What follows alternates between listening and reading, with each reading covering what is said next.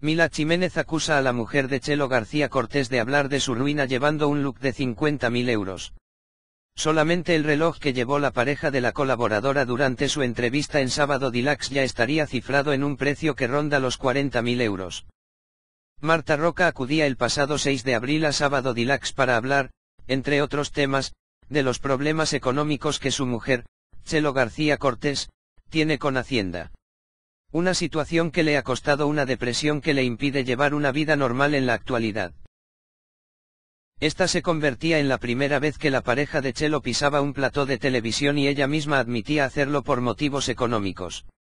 Sin embargo, Mila Jiménez ha revelado en Sálvame un sorprendente dato al respecto que podría desmontar por completo la credibilidad de la pareja.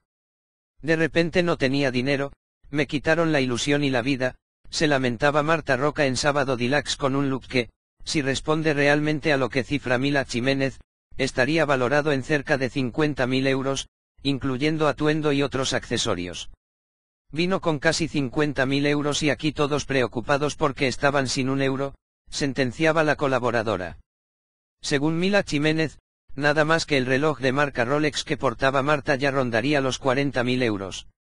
A esto basta con añadirle una americana y un cinturón de lujo, este último valorado en mil euros, y unos zapatos de 800 euros para sumar la cifra de la polémica. Todo ello sin contar las joyas que llevaba encima. Este es un hecho que no casa demasiado con la supuesta situación económica de la pareja y que ha terminando con las recriminaciones de los colaboradores de Sálvame. Marta Roca, personaje público a la fuerza. Según confesaba la propia mujer de Chelo, el motivo por el que se sentaba en el plató respondía únicamente a su situación económica. Una decisión que le habría costado mucho tomar, ya que Chelo siempre ha querido proteger a su pareja de las cámaras hasta el punto de acudir a un evento juntas y entrar por puertas distintas. Ahora que el nombre de Chelo se baraja para supervivientes puede que Roca tenga que tomar un cariz más público del que desearía y, de hecho, podría convertirse en un personaje en sí mismo si ella lo deseara.